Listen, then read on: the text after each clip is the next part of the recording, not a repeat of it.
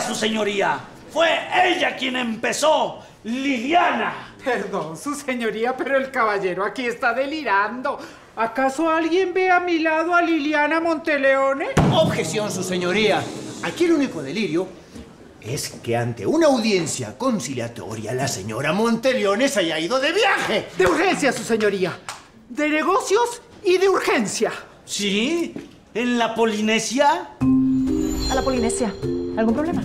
Solamente uno y fundamental. No te creo nada. Pero peor para ti. Es la convención anual de los vendedores tops de bienes raíces.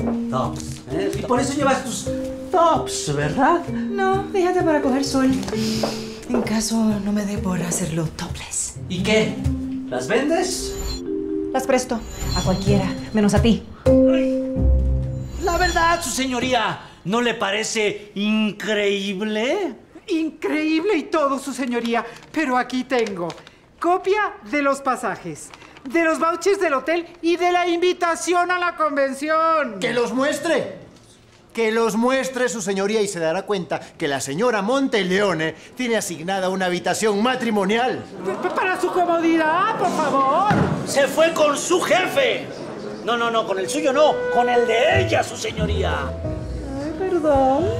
¿Estás celoso? Celoso, celoso yo, celoso yo. Sí, es que estoy celoso, estoy celoso, estoy re celoso. Cálmate. Esto es un, un viaje con el jefe de la inmobiliaria y su vendedor estrella, por supuesto. Chao. Tú eres la vendedora. Ay, qué mal, Liliana, ¿eh? Qué mal. Tú la vendedora estrella si no has podido vender esta casa en meses. ¿eh? ¿Qué crees que tengo aquí un letrero que dice yo soy idiota? Y una flecha. Ríete. Es una broma. Humor, Pipo, humor. ¡Ay, es una broma! ¡Ay, ay, qué bueno que es una broma! Me la estaba yo creyendo, Liliana. ¡Ay! Bueno, pero no, yo dije, ¿qué voy a hacer? No sabría qué hacer yo con los niños, con tu padre, con, con Nikita, con, con la casa. ¡Ay, qué bueno que es una broma! De veras, Lili, yo no sé qué, qué haría yo con mi vida si, si tú no estás, mi amor. ¿De, de verdad te, te- te- te vas?